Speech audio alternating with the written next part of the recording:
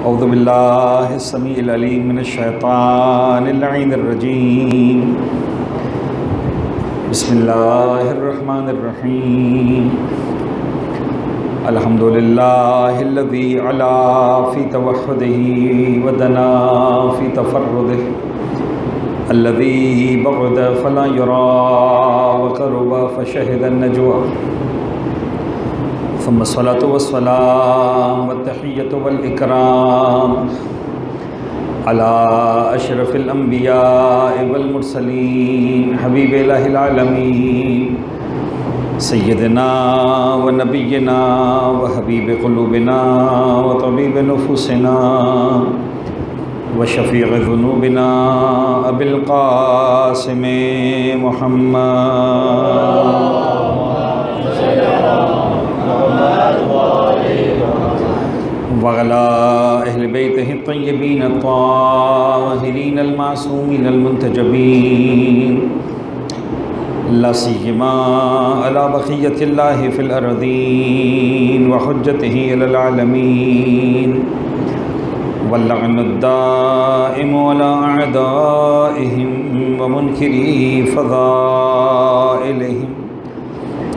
वगास भी हकूक़ ही मजमैन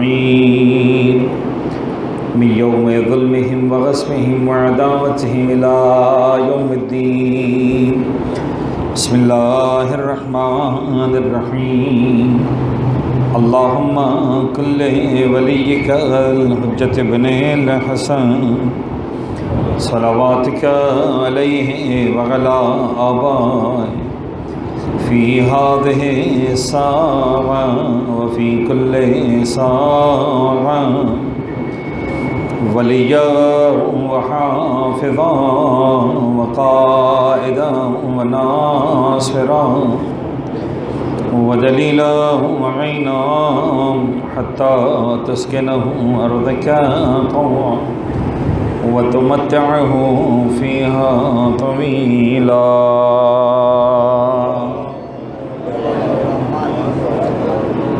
अम्मा बाद फ़कत ख़ान हकीम फ़ी किताब हिलमुबीन बसमीम वमार रहमतमीन पढ़ेंगे मोहम्मद वाल मोहम्मद मोहम्मद वाल मोहम्मद अज़न ग्राम कदर माशाल्लाह आपको कई सालों से साहब जारिया का ये सिलसिला और इस सिलसिला गुफ्तु जो है वो जारी है। और, तकरीबन हर साल ही अयाम अज़ा के अख्ताम पर रबी अव्वल के आगाज़ में मेरी ज़िम्मेदारी करार पाती है कि मैं आप अजीज़ान के सामने हाज़िरी दूँ। और हमेशा ही मैंने आपके सामने इस, इन ख़ास तौर पर इन दुरूस में, यानी जो सिलसिले सवाब जारिया के दुरूस है पैगंबर रकम की ज़ात पर ही बात की है। उन्हीं पर हवाले से या छठे इमाम सरकार के हवाले से। तो बहरहाल, उसी वाले से बात होनी, लेकिन अपनी आदत के मुताबिक आगाज़ में एक फ़िकी मसला मैं अबजान की समातों की नज़र करूँगा। एक सलवार पढ़ें मोहम्मद वाल मोहम्मद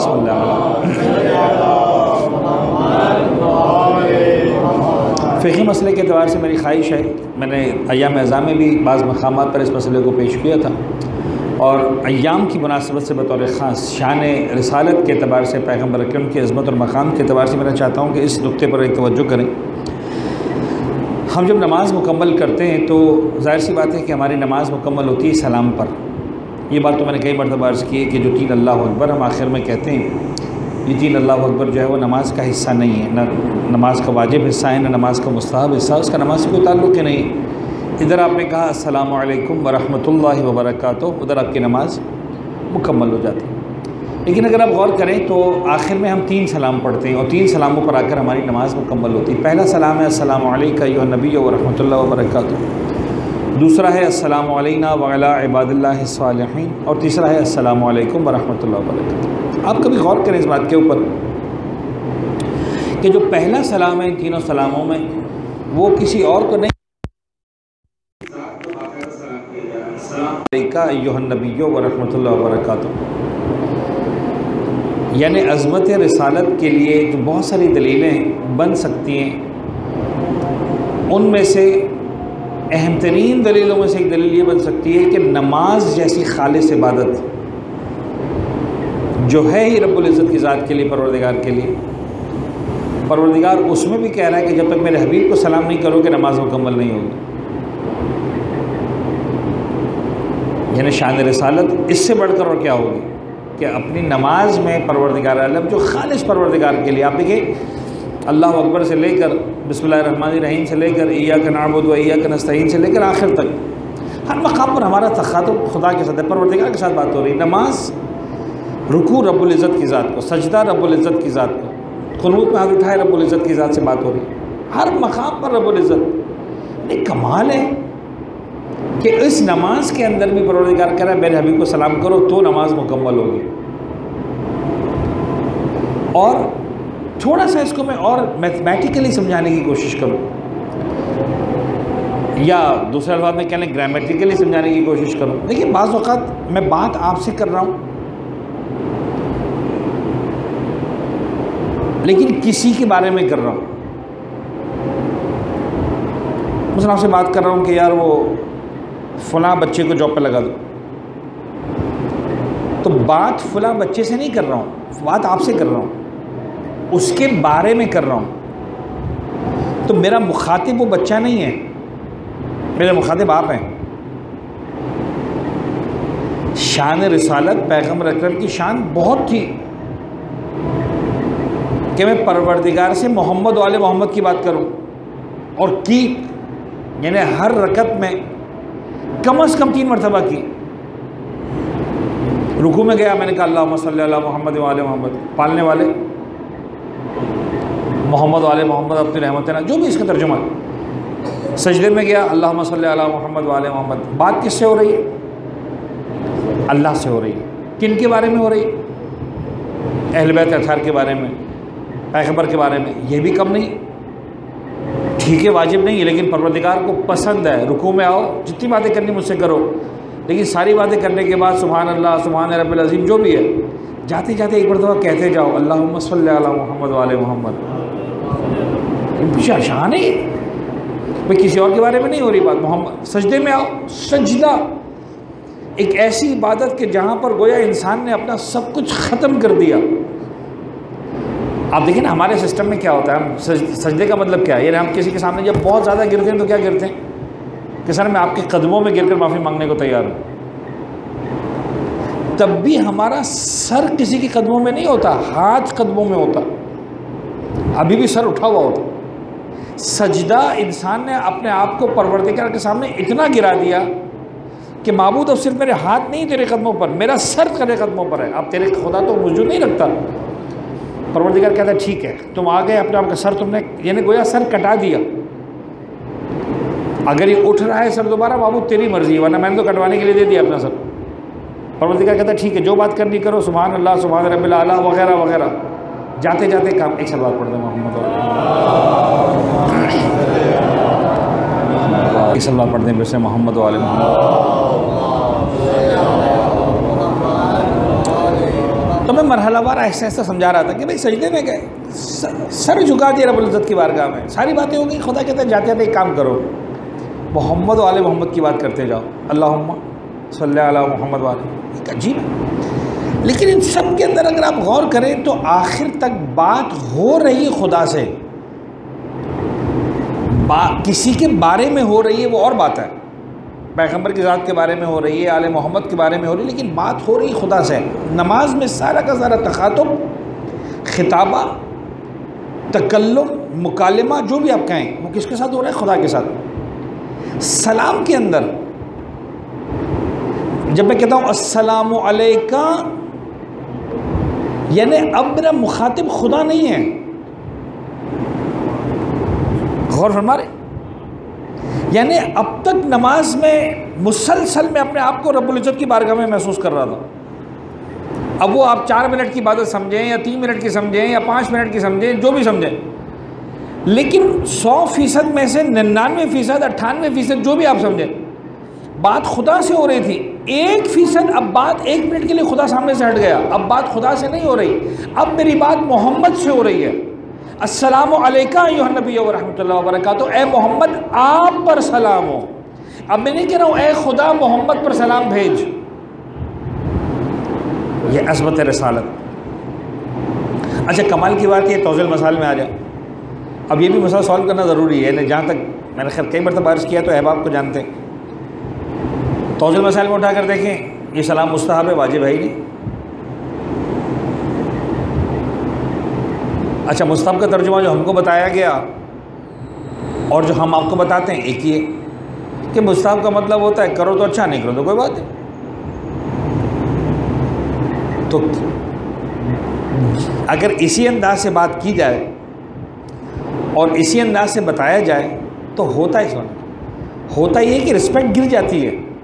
हाँ, पैगंबर को सलाम इंपॉर्टेंट नहीं है कर दिया अच्छी बात नहीं करोगे तो नवाज़ हो क्या लेकिन अजान ग्रामी मुस्तहबात को एक दूसरे जाविये से देखना ज़रूरी है। और मैंने बहुत मरतबा जुमला कहा है। आज आपकी समातों के लिए भी हदिया कर रहा हूँ। वो ये कि मुस्तहबात को इस लेवल पे आके छोड़ मत दें। अब कर दिया तो अच्छी बात है, नहीं किया तो छोड़ दो। मुस्तहबात वाजिबात आपकी बंदगी का इम्तहान है। मुस्तहबात आपके इश्क का इम्तहान है। अक्सर मिसाल के लिए मैं जुमला कहता हूँ, मुझे नहीं पता ये तकाबुल, लफ्ज़ तकाबुल भी पता नहीं, खैर, समझाने के लिए अलबत्ता कोई तकाबुल नहीं है। हज वाजिब है ज़्यादा इमाम हुसैन मुस्तहब है।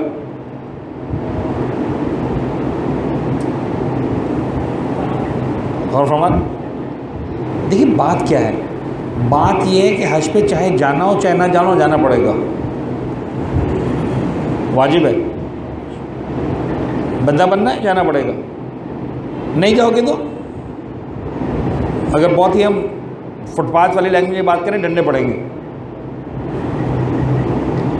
नहीं जाओगे, डंडे पड़ेंगे। जेल होगी, सज़ा होगी, पता नहीं, जहन्नम होगी फिजारे कब्र ये सारी बातें।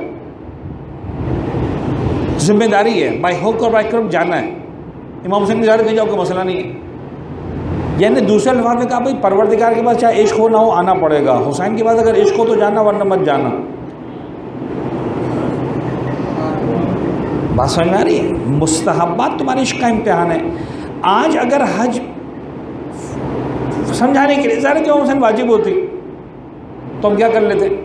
दुनिया को कहने का मौका मिलता कि भाई, ज़बरदस्ती जा रहे हो, नहीं जाओगे तो डरने पड़ेंगे। आज बड़े फ़ख्र से कहते, साहब, ढाई करोड़ पहुँचे।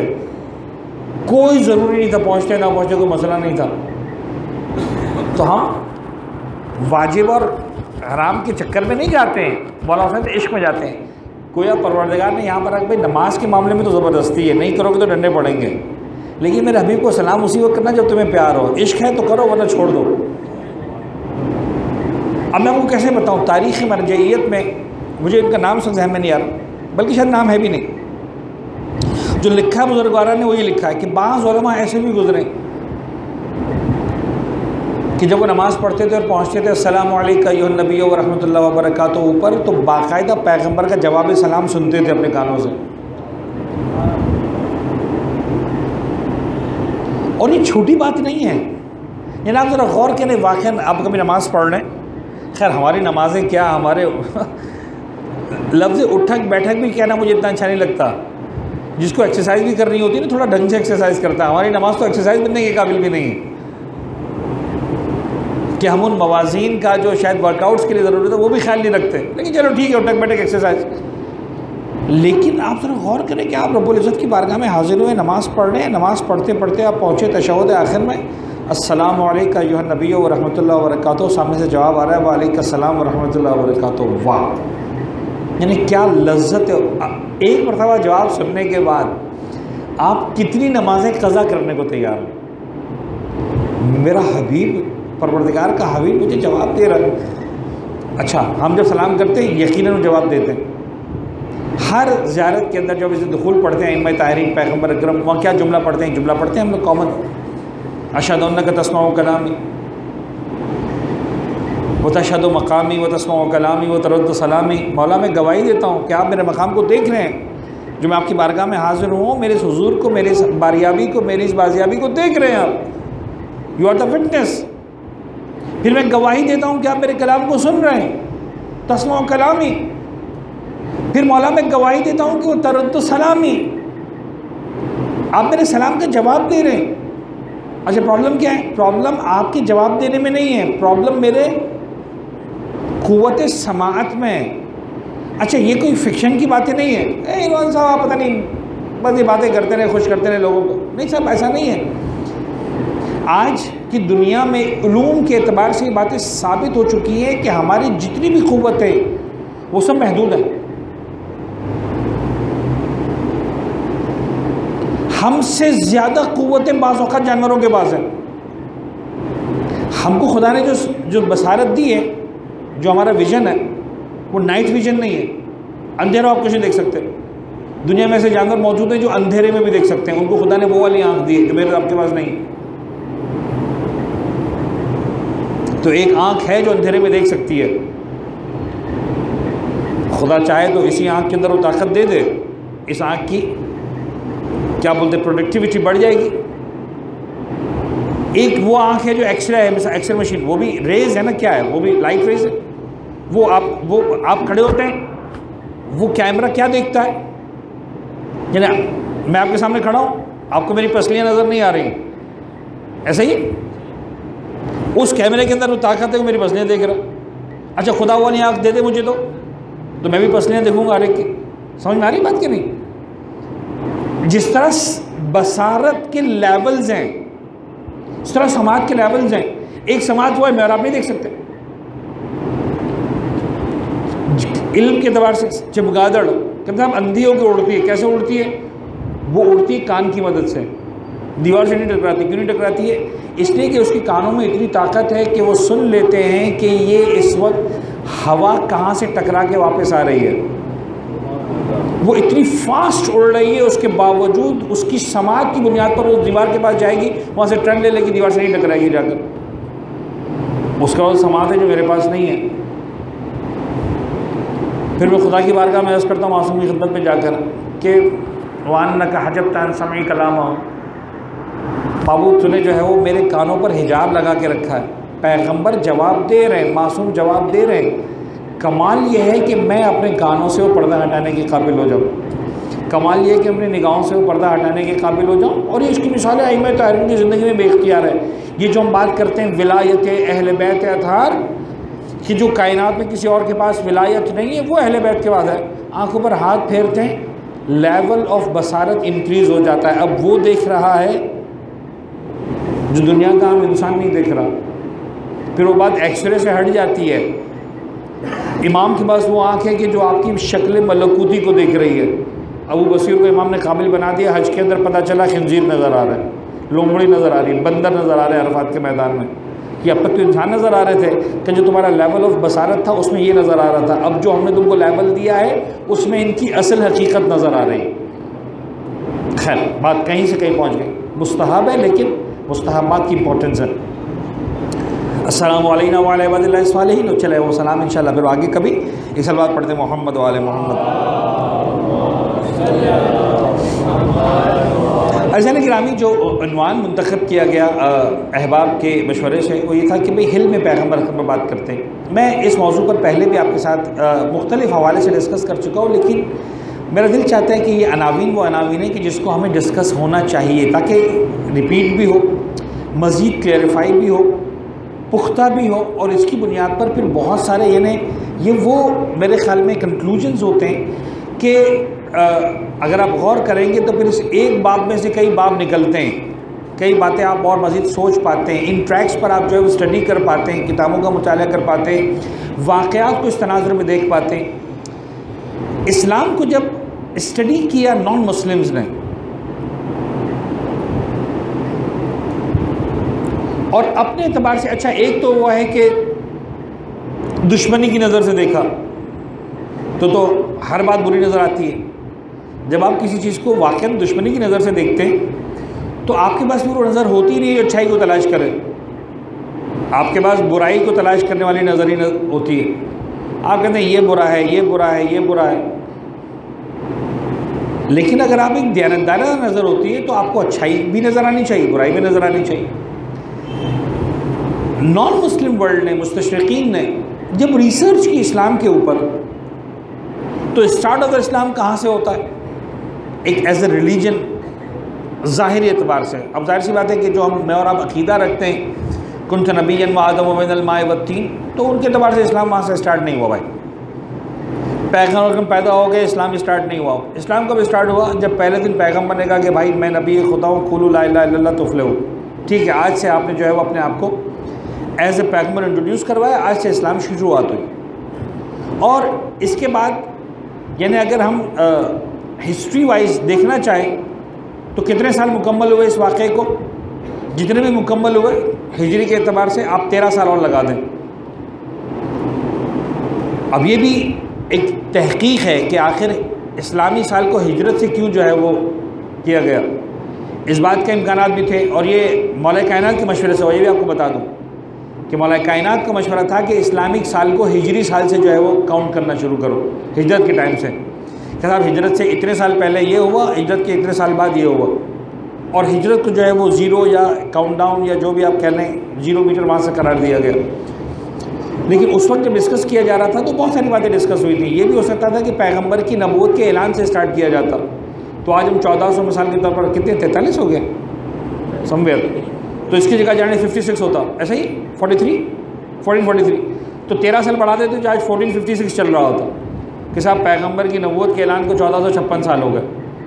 पैगंबर की विलादत से अगर आप काउंट करते तो आप 53 प्लस कर देते। 1443 के अंदर मस्जिद 53 प्लस कर देते। तो साहब 1496 हो जाते। कि साहब, चौदह सौ छियानवे, पंद्रह सदी गुजर गई। आज हम कहते ना, चौदह सौ साल गुजर गए तो हम कह रहे होते सब पंद्रह सौ साल गुजरने वाले। लेकिन हमने स्टार्ट किया। खूब ओके वो जहाँ से भी स्टार्ट पैगंबर रकम ने अनाउंसमेंट किया, वहाँ से एक नॉन मुस्लिम की निगाहों से देखिए तो वहाँ से इस्लाम की शुरुआत हुई। और उस शुरुआत को आज कितने साल मुकम्मल हुए? 1443 प्लस 13 1456 साढ़े चौदह सौ साल। इस्लाम किस तरह से फैला? क्यों फैला? किस बुनियाद पर फैला? क्यों लोगों ने इस्लाम कबूल किया? दुनिया में बहुत सारे अदियान आते हैं। स्कूल ऑफ़ थॉट्स अगर इसको आप कहें बहुत से दस साल चले, बीस साल चले, पच्चीस साल चले, पचास साल चले, सौ साल चले, ख़त्म हो गए। ये वो है जो 1400 साल, साढ़े चौदह सौ साल हो गए, अभी तक चल रहा है। भाई, क्यों चल रहा है? तो क्यों चल रहा है? उसकी रीज़न अलग है, इस्तेमरार। पहले इस्तकरार कैसे हुआ? फिर हम इस्तेमरार की बात करेंगे। कसब इस्तकरार एक बुनियाद पर हुआ। यानी ये इन्होंने कंक्लूजन लिया। नॉन मुस्लिम स्कॉलर्स ने। कि भाई याद रखना, इस्लाम जो फैला है, उसका जो first and the most big reason the major reason behind the spread of Islam वो है सोर्ड तस्वीर, तलवार। तलवार की बुनियाद फैला। अच्छा आप कैसे कह सकते हैं साहब? आप देख लें। जब तक तलवार का आपने इस्तेमाल नहीं किया था, तब तक इस्लाम कहाँ पर था? मेरी बात पहुँच रही। जब तक तलवार का इस्तेमाल आपने नहीं किया तो इस्लाम कहाँ पे था? जब तक आपने तलवार का इस्तेमाल नहीं किया, तब तक इस्लाम जो है वो मक्का में था और मदीना में था, अल्लाह खैर। तलवार इस्तेमाल ना करके आप नजरान के नसारा को भी मुसलमान तो नहीं बना सके थे। उन्होंने हार मान ली थी। मुसलमान नहीं हुए थे। कि ठीक है भाई, हम नॉन मुस्लिम माइनॉरिटीज हैं, आपको जनरली टैक्स पे करेंगे। आप ताकतवर मुसलमान नहीं बना सके थे। फिर क्या हुआ? फिर आपने तलवार के ज़ोर इस्तेमाल किया। आपने ईरान फ़तह किया, आपने इराक़ फ़तह किया, आपने बी फ़तह मिस्र फ़तह किया, आपने उस ज़माने का अफ़गानिस्तान फ़तह किया, उस ज़माने का पता नहीं उर्दन फ़तह किया, उस ज़माने का शाम फ़तह किया। करते गए। अच्छा आप जाते थे लश्कर लेकर? और लश्कर लेकर जाते थे? लड़ाई करते थे। कहते दो में से ऑप्शन या कलमा पढ़ो या जान से मार डालेंगे। यही हुआ। बात पहुँच रही यस और नो यस पैगंबर के बाद अमीर कायनात का दौर आते आते सन पैंतीस हिजरी में अमीर कायनात को जो खिलाफत मिली, ज़ाहिर एतबार से ये बीच की चौबीस साल, ग्यारह से लेकर पैंतीस, इसमें क्या हुआ? शाम फतह हो चुका था, जब भी तो मौला कायनात गए वहाँ पर गुफा में। जब भी तो अमीर शाम शाम में हुकूमत कर रहा था। शाम फतह आप सोचें कि आज नक्शे के तबार से कि साहब कहाँ सऊदी अरब, कहाँ आज का इराक़, कहाँ आज का शाम, कहाँ आज ये सब फतह हो चुका था। किस दुनिया पर फतह हुआ था? खिलाफत के दौर में जंगें लड़ी गई, मुसलमानों का लश्कर जाता रहा, ताकत के साथ हमला करता रहा, या कलमा पड़ो या गर्दन काट देंगे, या गुलाम और कनीज बनाकर बेच देंगे। तो जो मुस्तशरक ने कहा, जो स्कॉलर ने कहा, वो इतना गलत भी नहीं था कि तलवार के ज़ोर पर फैला। लेकिन फिर मुझे कहने दें कि एक इस्लाम वो है जो आलम इस्लाम का इस्लाम है, एक इस्लाम वो है जो अहल बैत अथार का इस्लाम है। जो आलम इस्लाम का इस्लाम है, वो तलवार के ज़ोर पर फैला, जो अहल बैत का इस्लाम है, वो सिर्फ़ और सिर्फ़ अखलाक की बुनियाद पर फैला। यानी यहाँ पर आकर लाइन ड्रॉ होती है। यहाँ पर आकर पता चलता है कि भाई तलवार वाला इस्लाम और है, अखलाक वाला इस्लाम और है। पैगंबर अकरम ने मक्का में जिन लोगों को मुसलमान बनाया, कितनों की गर्दन पे तलवार रखी थी कि कलमा पढ़ लो ना, गर्दन काट दूँगा। मदीने मनवरा में पैगंबर अकरम ने कितनों की गर्दन में तलवार रखी थी। और थोड़ी देर पहले जो मैं वाक़ पेश कर रहा था, शायद आपको मेरे लबो लहजे से लगाओ कि मौलवी साहब आप क्या कह रहे हैं? कि साहब नजरान के नसाना को तो मुसलमान बना नहीं सके। जवाब ये कि यस हमने वहाँ पर भी तलवार का इस्तेमाल नहीं किया। हालाँकि हक साबित हो चुका था। हालाँकि सच साबित हो चुका था। हालाँकि समझ में आ गया था। फमन आज कफ़ी मज़ा कमिन फ़कुल चालम न दो अपना ना व अपना कुम व निसाना व निसा फुसना वन फुसकुम सुमन अबतल फ़नज अल्लाहबीन भाई लड़ लेते जंग। छोटी बात थोड़ी थी, मज़हब की हार, देखिए, कौम की हार, लश्कर की हार एक सेकेंडरी लेवल की हार होती है। मज़हब की हार इंसान बर्दाश्त नहीं करता, वो भी उस दौर का मुसलमान। मज़हब की हार इंसान बर्दाश्त नहीं करता। नजरान के नसारा मान गए।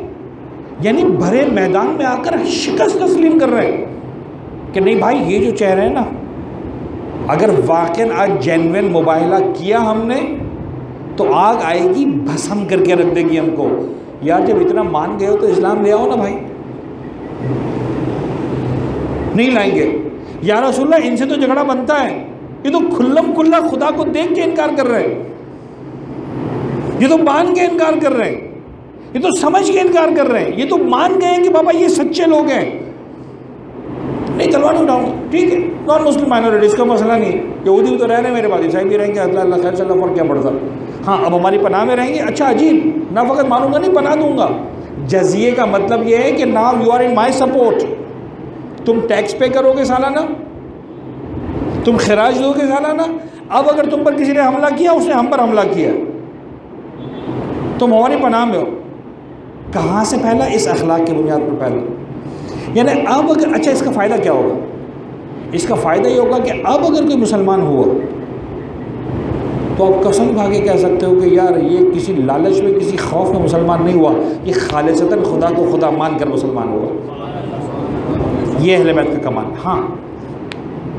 फ़तेह मक्का एक अलग दास्तान है। उसके क्या मराहल, क्या मसाइल, क्या बात है, वो एक खुदा बेहतर जानता है। लेकिन जहनमली अगर आप देखें, अव्वलना मोहम्मद, आखिरना मोहम्मद, औसतना मोहम्मद, कुल्लना मोहम्मद। अच्छा वाक़ात वही है। मैंने दयानदारी के साथ सर्च किया। कि मुझे पैगंबर की ज़िंदगी की और बाकायदा वाक़ात मिले, जिसको हम बाकायदा हाईलाइट कर सकें, गिनती के वाक़ात मिलते हैं। वैसे हिल्म बुरदबारी के बहुत सारे वाक़ात हैं। लेकिन दीन की खातिर एक आम ज़िंदगी में पैगंबर अक्रम दीन के लिए भी साहिब इल्म इंसान थे, अपनी ज़ात में भी साहिब इल्म इंसान थे। ये दो अलग अलग डायमेंशंस हैं। जब आप पैगंबर अकरम की ज़िंदगी का मुताल करते हैं तो आपके सामने आती है कि भाई एक मकाम पर वो कुर्बानी है कि जहाँ पर आप as a prophet as a नुमाइंदा खुदा खड़े हुए और आप बर्दाश्त कर रहे हैं। पैगंबर गम गए ताइफ है मिसाल के तौर पर। अब वहाँ मोहम्मद इब्न अब्दुल्ला बन के नहीं गए थे, मोहम्मद रसूलुल्लाह बन के गए थे। ताइफ के अच्छा ताइफ में क्यों गए थे? ये तो आज पता चला। आज से मुराद हिस्ट्री को देखा। सब मसला ये है कि मक्का मुकरमा गर्म तरीन, मुश्किल तरीन, ख़तरनाक तरीन। जिन्होंने हाजिया उमरा किए जानते पूरा मक्का पहाड़ियाँ ही पहाड़ियाँ, कुछ नहीं। आज भी, यानी रिसोर्सेस इसी वजह से इतना महँगे कि साहब आसान नहीं वहाँ पर रहना। सर्वाइवल इतना आसान नहीं। जनाब इब्राहिम और इस्माइल के ज़माने की दास्तान है, वो जमजम का आ जाना उस पानी की वजह से आबादी हो गई और फिर खाने काबा की अजमत। और वो खुद खाने काबा के बारे में बात कही जाती है कि परवरदिगार ने खाने काबा स्विट्ज़रलैंड में क्यों नहीं बनाया? वो सारी बातें मैं इस वक्त नहीं करना चाह रहा, वरना बात कहीं से कहीं निकल जाएगी। लेकिन मक्का मुश्किल तरीन जगह। आज भी अगर आप रहना चाहते हैं वहाँ पर, हम तो जाते हैं ना इन्हें जो भी हमसे खुदा नसीब करे, मुझे भी, आपको भी हाज है, उम्र है तो हम एक शौक़ में चले जाते हैं। आठ दिन, दस दिन रह के आ जाते हैं, बारह दिन रह के आ जाते हैं पता दिन रह के आ जाते हैं। कभी इस हवाले से सोचे कि मक्का में रहना है? कुछ है ही नहीं। यार कोई ढंग की जगह नहीं है। यार भाई, कोई पिकनिक स्पॉट बता दो यार, बच्चों के साथ जाना है। नहीं ना समंदर है, ना दरिया है, ना पार्क है, ना क्या पहाड़ी है सर कुछ नहीं। संगलाख। वैसे रहने की जगह है ही नहीं। अब बहरहाल इतने ज़्यादा आर्टिफिशियल रिसोर्स के बाद आप कहें कि हाँ साहब, अब जनाब अली, कुछ वो फार्म हाउस बना दिए, कुछ वो बना दिए होटल बना दिए अदरवाइज़ मक्का रहने की जगह नहीं थी। फिर जगह कौन सी थी? अच्छा ये खुदा की कुदरत है वल्ला क्या राज है इसके अंदर? मक्का से सत्तर किलोमीटर भी नहीं है। एक इलाका है ताइफ, इंतहाई सर सरसब्ज शादा आप सत्तर किलोमीटर मक्का में हैं, जुलस के मर जाएँगे 45 प्लस डिग्री टेम्परेचर उसी वक्त जब यहाँ मक्का में 45 चल रहा है, सत्तर किलोमीटर दूर जाए, यहाँ से हैदराबाद भी नहीं हुआ। बेहतरीन मौसम है। बाग है, पता नहीं, चश्मे हैं, कुएँ हैं, बागात हैं, सब्ज़ा है, हरियाली है, ठंडा मौसम है, लोग इंजॉय कर रहे हैं। मक्का के जितने सरदार थे वहाँ जो क्रीम है वहाँ रहेगी, मजदूर यहाँ पे रहेंगे मक्का में। कबीले वाले यहाँ पर रहेंगे, गुलाम यहाँ पे रहेंगे, कनीज़ यहाँ पे रहेंगी, कमज़ोर अफराद, ज़यीफ़ अफराद ये लोग यहाँ पर रहेंगे। सरदारान कहाँ रहेंगे? सब ताइफ में जाके रहेंगे। पैगंबर ने कहा, भाई, इनको मुसलमान बनाओ उससे चाहे इनको मुसलमान बनाओ। ताइफ चले अब वहाँ पर पैगंबर के किस लिए? मोहम्मद रसूलुल्लाह बनकर। वहाँ से क्या हुआ? पत्थर बरसाएगा हिल में पैगंबर बर्दाश्त कर हिल का मतलब टॉलरेंस बुर्दबारी फौरी तौर पर जब गुस्सा आता है ना, उस गुस्से में बेकाबू ना होना। इमीडिएट रिएक्शन पर काबू पाना ये दुनिया में इंसान का काम नहीं है। में बड़े बड़े लोग काबू पा जाते हैं। लेकिन एट द स्पॉट रिएक्शन को रोक पाना दैट इज़ कॉल्ड बुर्दबारी लफ्ज सब्र अलग है। सब्र मुसीबत पर है। बुर्दबारी इमीडिएट रिएक्शन मत देना। आप जा रहे हैं बड़े मज़े से नॉर्मल मूड के अंदर एक आदमी आया मतलब मोटरसाइकिल मार दिया आपको समझा पा रहा हूँ कभी मिसाल। क्या करेंगे आप? आप जितने भी अच्छे इंसान हैं, एकदम अब अंधा हो गया क्या? ये जो है ना, इसका मतलब बुड़बारी नहीं है आपके अंदर। यानी ये वो रिएक्शन है जिसके लिए मतलब आपके बस में नहीं ना रुकना। मैं ऐसे खुदा ना आप पे नहीं उठा रहा हूँ शायद मैं भी यही जुमला इस्तेमाल करूँगा इमीडिएट रिएक्शन को बर्दाश्त करना हिल्म अच्छा। पैगंबर बर्दाश्त कर रहे या रसोल आप क्या कर सकते हैं? अगर बर्दाश्त नहीं करेंगे तो? अच्छा मैं और आप बर्दाश्त नहीं करेंगे तो क्या करेंगे भाई? महल्ले के लड़कों को लेके आ जाएँगे साहब। ये करके आएँगे। और कुछ भी नहीं है भाई। ये खानदान बहुत ताकतवर है। ताकतवर को देखा, वैसे चुप हो जाएँगे। बर्दाश्त नहीं करो तो क्या करो? या रसुल्ला आप क्यों बर्दाश्त करें, आप क्या कर सकते हैं? मैं क्या कर सकता हूँ? कायनात का निज़ाम मेरे हाथ में अभी चाहूँ इनको इंसान से जानवर बना दूँ। इंसान जितना ताकतवर होता है ना, उतना ज़्यादा उसका रिएक्शन ख़तरनाक और ताकतवर होता है। आप किसी कमज़ोर को मार देंगे, बेचारा शायद दो जुमले बोल के रुक हो जाएगा, लेकिन आप किसी ताकतवर को मारें वो मतलब क्या से क्या नहीं कर देगा? उसके ताकत है, जोम है, रोब है पावर है। वो इंसान जिसके पास कायनात का सबसे बड़ी ताकत है, विलायत इलाही है जिसके पास है। नहीं भाई, मैं मोहम्मद रसूल हूँ, ओके, बर्दाश्त कर लिया। ठीक है? लेकिन हिल में पैगंबर, वो बुर्दबारी पैगंबर के वजूद का हिस्सा है। यानी ऐसा लगता है कुरान का एक मकाम पर, बिमा रहमत मिन रब्बिका लिंत अलैहिम वमा वलौ कुंत फद्दन गलीज़ल क़ल्बि लनफद्दू मिन ए मोहम्मद अगर तुम सख्त होते ना, वलौ कुंत फद्दन गलीज़ल क़ल्ब। ए मोहम्मद अगर तुम्हारा कल्ब बहुत, वो होता, झगड़ालू वाला होता, सख्त होता खुरदरा होता तुम्हारा मिजाज, तुम्हारा दिमाग, तुम्हारा अंदाज़। लनफुमिन होलिक लोग तुमको छोड़ कर चले जाते हैं। परवरदिगार की ख़ास रहमत है मोहम्मद मुस्तफ़ा पर कि आप इनको एब्जॉर्ब करते हो, बर्दाश्त करते हो। एक लफ्ज़ इस्तेमाल करते हैं हमारे अखलाक के अंदर, जाजिबा एंड दाफ़ा ये दो ताकतें अलग अलग होती हैं। कुछ जगहों पर ना जाजिबा होता है, ना दाफ़ा होता है, कोई मसला नहीं। यानी आप मिसाल के तौर पर ये पत्थर लेकर आए और मसला इस कुर्सी पे रख दें, क्या होगा? न कुर्सी पत्थर की तरफ़ खींचेगी, न पत्थर कुर्सी की तरफ़ खींचेगा। न इसके अंदर एब्जॉर्बशन है, न ये पत्थर कुर्सी को पीछे फेंकेगा, न कुर्सी पत्थर को पीछे फेंकेगी। ऐसा ही लेकिन आप एक मैग्नेट लेकर आए और यहाँ पे लगाए, अब क्या होगा? खींचेंगे दूसरे की तरफ़ ना? लेकिन कौन खींच रहा है किसकी तरफ़? मैग्नेट नहीं खींच रहा लोहे की तरफ़। लोहा खींच रहा है मैग्नेट की तरफ़। तो कहा जाएगा मैग्नेट के पास कुत जाजेबा है, जज्ब करती है अपनी तरफ़। अच्छा बात होगा मैग्नेट। अपोजिट डायरेक्शन वाली जो ईस्ट वेस्ट नॉर्थ वाली कहानी आती है, आप लेकर जाए, वो और दूर भागेगा। फिर और जाए, और दूर भागेगा। ऐसा भी होता है। ये जो फेंकने वाली ताकत है उसको कहते हैं दाफिया कुछ लीडर्स ऐसे होते हैं जिनका दाफिया बहुत ताकतवर होता है।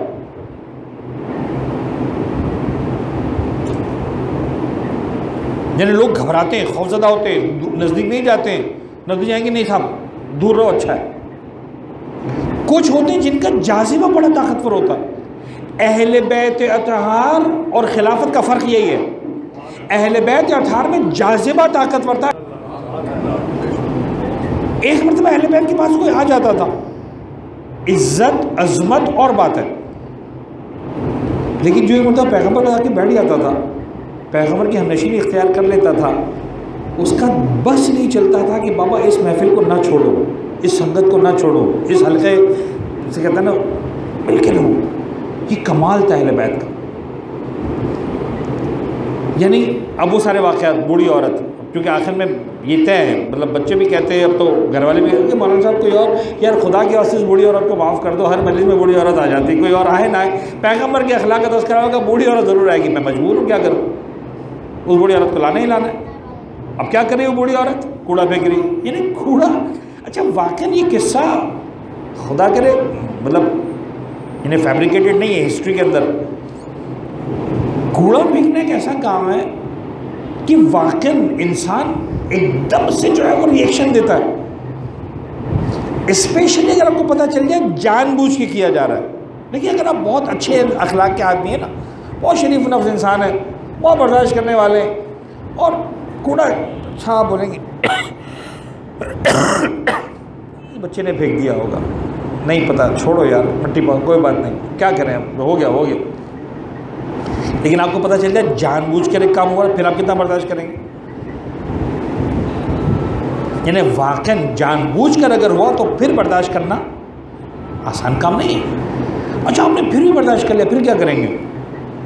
एक दिन आप गुजरे, किसी ने ऊपर से कूड़ा फेंका जानबूझ कर आप बहुत शरीफ बनना चाह रहे हैं, हद से ज़्यादा शरीफ बनना चाह रहे हैं, और आपने उस पर भी सर उठा कर नहीं देखा। हालाँकि आप सामने वाले की ऐसी तैसी कर सकते हैं। उसका हशर ख़राब कर सकते हैं, उसकी ज़िंदगी बर्बाद कर सकते हैं। फिर भी आपने कहा, चलो, कोई बात नहीं, बर्दाश्त करता हूँ। दूसरे दिन से फिर ये काम किया।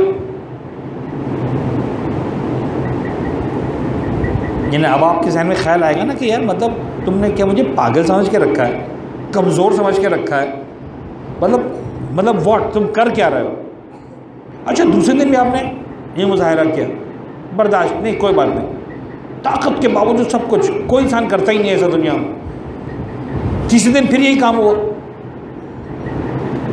अब आपको पता चल गया कि भाई ये काम तो होना है। और तीसरे दिन भी आप बर्दाश्त कर गए। चौथे दिन अगर और कुछ नहीं करेंगे तो कम अज़ कम इतना करेंगे, वहाँ से गुजरना छोड़ देंगे। मैं जानबूझ कर मैं क्यों जाऊँ ऐसी जगह पर? यानी तीन पहले दिन, अगले ने जानबूझ के किया। एक बर्ता किया, ख़त्म। दूसरे दिन अच्छा इसका इरादा है। तीसरे दिन जान चौथे दिन यार अब जाना ही नहीं। जिस रास्ते पे जब लड़ना भी नहीं है तो खामा का क्यों अपने आप को इंसान गंदा करे भाई? क्यों उस मट्टी कूड़े के नीचे जाए? पैगंबर फिर भी जा रहे हैं। यानी ये हिल और यानी ये बाज़ार ऐसा लगता है कि ये हिल नहीं है। पता नहीं कोई ऐसा लफ्ज़ है जिस, ऐसी कुत है जिसके लिए लफ्ज़ हिल क्वालिफाई नहीं करता। बहुत छोटा लफ्ज़ है। हिल बहुत पहले ख़त्म हो चुका है। यानी हिल की जो डेफिनेशन है वो बहुत पहले ख़त्म हो चुकी है। अब ये जो लेवल है, इसके लिए कोई लफ्ज़ बना ही नहीं। और यहाँ तक बात आती है कि फिर एक दिन कूड़ा नहीं आता। और अब अल्लाह का रसूल, ये अखलाक लफ्ज़ हिल्म इस्तेमाल करूँ, क्या इस्तेमाल करूँ, खुदा इधर जानता है। क्या वो जनाब अली जो है, वो जाते हैं उस औरत के पास? और वो सामने से अच्छा समझिए उसको, बेवकूफ़ तो नहीं है। जान बुझ कर खातूनी काम कर रही कहने की मोहम्मद, तुम बड़े अखलमंद तो बहुत समझदार हो। तुमने बदला लेने के लिए उस दिन का इंतखब किया जब मैं अपने, से कहता ना कि मतलब चादर से उठने के काबिल नहीं हूँ। इतना बीमार हूँ कि कूड़ा डालने के लिए उठने के काबिल नहीं हूँ। तब तुमने बदला लेने का इंतखब किया, आज बदला लेने के लिए आए अब तक कभी बदला नहीं लिया। एंड टू हर शॉक पैगंबर जवाब में फरमाते हैं कि मैं बदला लेने के लिए नहीं आया। मुझे अंदाज़ा हो गया कि तू तो इस वक्त बीमार है। मैं क्या खिदमत कर सकता हूँ?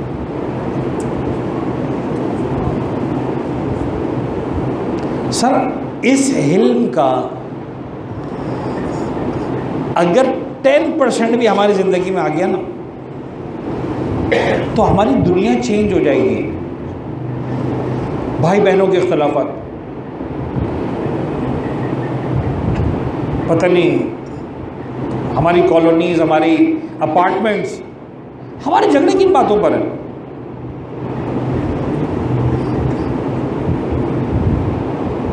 झगड़ा ऐसी बात पर है कि हम ही बेवकूफ़ हैं? और हम पैगंबर के लेवल का हिल? नहीं, वो तो बात ही नहीं कर रहे हैं। हम तो बहुत इब्तदाई लेवल की बात कर रहे हैं। अगर इब्तदाई लेवल का हिल भी हमारे अंदर आ जाए आपको क्या लगता है, हमारे माशरे में कितने झगड़े बाकी रह जाएँगे? भाई बहनों में कितने झगड़े बाकी रह जाएँगे? रिश्तेदारों में कितने झगड़े बाकी रह जाएँगे? पड़ोसियों में कितने झगड़े बाकी रह जाएँगे? खत्म होकर रह जाएँगे सारे मामला। पैगंबर की यानी आज हम पैगंबर के जश्न विलादत बना रहे हैं, यानी कल इंशाल्लाह रात है अयाम पैगंबर की विलादत के अयाम है तो हिल में पैगंबर के अतबार से, और सिर्फ़ पैगंबर नहीं पूरे अहल बैत अधार की तारीख को देखें, आपको हिल ये बुरदबारी एक कमाल पर नज़र आएगी। एक नहीं, दसियों मकाम है। इमाम खड़े सामने से कज़न है। बाज़ात बदतमीजी कर इमाम खामोश खड़े साहब देख रहे क्या कर रहे हैं? इन्होंने सारी बातें सुनी असहाब तलवार निकाल के तैयारी मौला इजाज़त है, गला काट दें इमाम मासूम की शान में गुस्ताखी कर रहे हैं, काबिल बर्दाश्त नहीं। तो सॉरी कुछ नहीं होगा। अच्छा सारी बड़ा जब ये भी बड़ा अहम है, पता नहीं, इस पर इस नुकते पर भी गौर करना चाहिए कि झगड़ा उसी वक्त तक है, जब तक दोनों तरफ़ जो है वो चिल्ला रहे हों। एक पार्टी खामोश हो जाए तो झगड़ा आखिर में ख़त्म हो ही जाता है। कुछ नुस्खा है ना मियाँ बीवी वाला, मैंने आज से पता नहीं, बीस साल पहले पढ़ा था। खैर, बहुत से लोगों ने पढ़ा है इसको, और मैं नहीं कह सकता मुझसे सुन के पढ़ा है, वो एक अलग ही स्टोरी है। हमने भी किसी किताब से लिया था तो कोई भी पढ़ सकता कि खातून आई, किसी जो है वो बुज़ुर्ग के पास के बुज़ुर्ग तो मेरा झगड़ा शौहर के साथ बहुत होता है। रोज़ाना हमारा झगड़ा होता है, घंटों तक चलता है। क्या करूँ, समझ में नहीं आ रहा। बुज़ुर्ग का इसका मसला तो बड़ा आसान है। क्या करूँ? ये पानी लो, ये दुआ पढ़ के दे रहा और जैसे झगड़ा स्टार्ट में पानी मुँह में रख लेना। उसको गले से उतारना नहीं जब तक झगड़ा ख़त्म ना हो जाए तब तक। जैसे झगड़ा स्टार्ट हो, दोबारा मुँह में रख लेना। हाँ झगड़ा खत्म हो गया फिर उतार खत्म हो गया। उसका हाँ ये बात सही।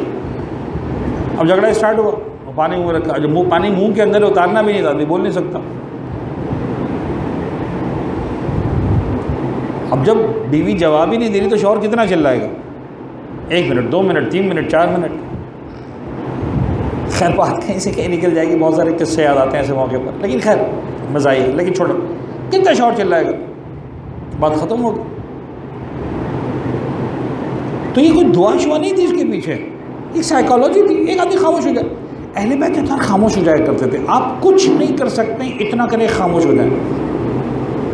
खामोश होने का मतलब ये नहीं है कि आप गलत हैं। खामोश होने का मतलब ये है कि हक और बातिल से ज़्यादा यानी यहाँ पर लफ्ज़ हक और बातिल का शायद लफ्ज़ मुनासिब इस्तेमाल नहीं है। सही और गलत से ज़्यादा आपकी निगाहों में रिश्ते की हैसियत है। इस वक्त ये इंपॉर्टेंट नहीं है कि बीवी गलत है या शोहर, शौहर गलत है बीवी। इस वक्त इंपॉर्टेंट ये है कि सही गलत कोई भी है, इन दोनों का रिश्ता ज़्यादा इंपॉर्टेंट है। इंपॉर्टेंट ये नहीं कि ये दोस्त सही कह रहा है या वो दोस्त सही कह रहा है। इस वक्त इंपॉर्टेंट ये कि दोस्ती ज़्यादा अहम है। अहली बात खामोश हो खामोश हो अच्छा। खामोश हो गए, अब ये साहब फिर हमने कहा, चलो हाँ ये हुई ना बात, अब चाह रहे बदला लेने की अब जब जा रहे बदला लेने के लिए कोई इमाम आयत पढ़ते हुए जा रहे हैं। वलकादमीन अलगैद वलाफिन अन्नास वो लोग जो गुस्से को पी जाते हैं। अरे, मौला, फिर वही करने वाले वहाँ पहुँचे, दरवाज़ा खटखटाया, भाई, जो तूने कहा, अगर सच था खुदा मुझे माफ़ करे, गलत था खुदा तुझे माफ़ करे। आज के दौर में शायद आपको लगे ये मज़ाक हो रहा है। उस दौर के अंदर आसान नहीं था। इन बातों पे गर्दनें कट जाया करती थी।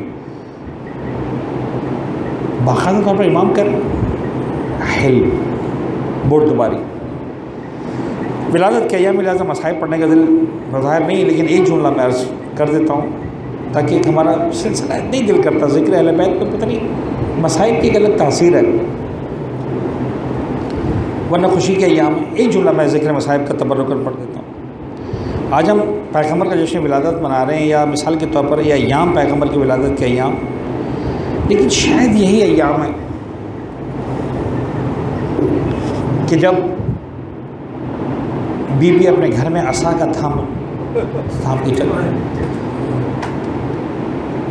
शायद यही अयाम है कि जब जहरा की निगाह दरवाजे पर पड़ती है और बेखदर पर पड़ती है तो जहरा की आँखों में आँसू आ जाते हैं।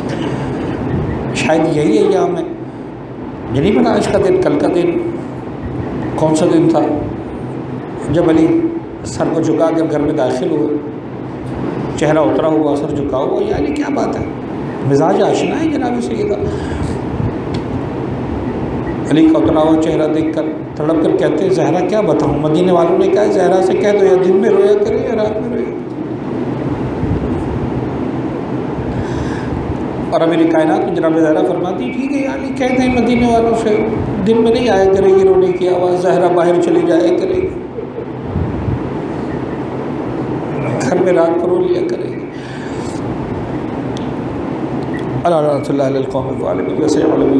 महमद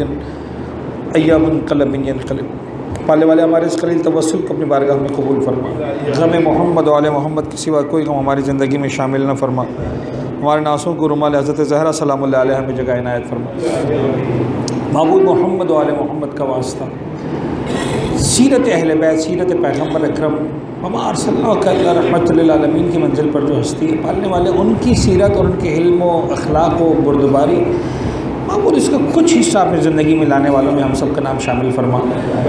पालने वाले मोहम्मद वाले मोहम्मद का वास्ता, हम सब के रिश्ते हलाल तयब में कसरत व बरकत व सत्यनायत फरमा।